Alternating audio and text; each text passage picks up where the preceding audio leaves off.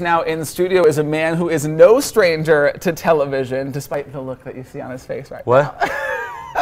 You hold you hold an interesting honor in TV history. You have appeared not only on Mad TV, but you were also a cast member on Saturday Night Live.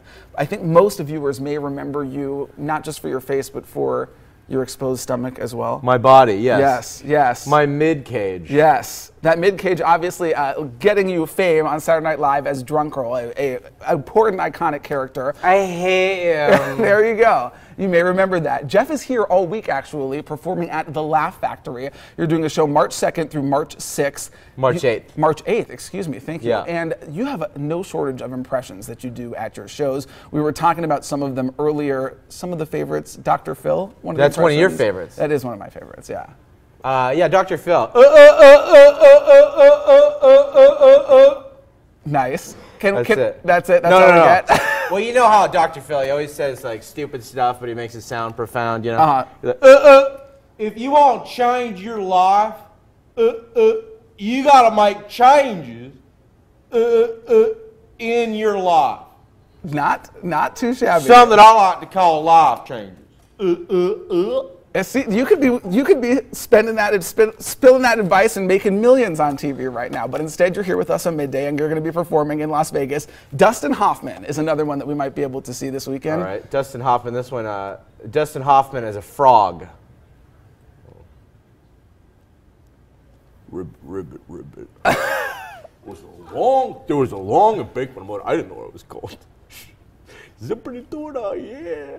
So Jeff, how many impressions overall will we see if we come out to your shows? Uh, two. Two. That's it. So we just I- saw them all. You can save your money, folks. No, I don't know. You'll see a few, uh, quite a few. Yeah. Yeah. Yeah. Very good stuff. And so you're here in Vegas. What is are some of your favorite things to do when you come here and perform? Anything about the city that you like to do? I like to do fast walking. I like to do some fast walking, you know, because you go in and out of people. There's a lot of people, so I pretend I'm like a running back, Uh-huh. you know, and I just kind of do my moves. Uh, and then, you know, like pretzels, I try to get a pretzel in. Good, good stops. Good Yeah. stops here in Las Vegas. Will we see Drunk Girl if you come out? I know we will see drunk. Likely, we will see drunk girls in the audience, but will we see your impersonation You of will. Drunk Girl on stage? You'll see a longer, more uh, drawn out version of it, Uh-huh. yeah, for sure. with the midriff exposed. Midriff exposed after the show. Ah, I see. So that, that's only for the folks who are invited Yeah. for the after show? Yeah, yeah. All right. We've got some information if you guys are interested in checking out the show. It is at the Laugh Factory. You can see performances starting today at 8.30 and 10.30. And as Jeff corrected me, he is there through March 8th. There's a lot more impressions than just the two that he previewed, despite what he says. Get on out there. He's a funny guy. You'll see some of your favorite characters from Saturday Night Live, including Drunk Girl, again at the Laugh Factory through March 8th. And midday, we'll be right back after this break. Stay with us.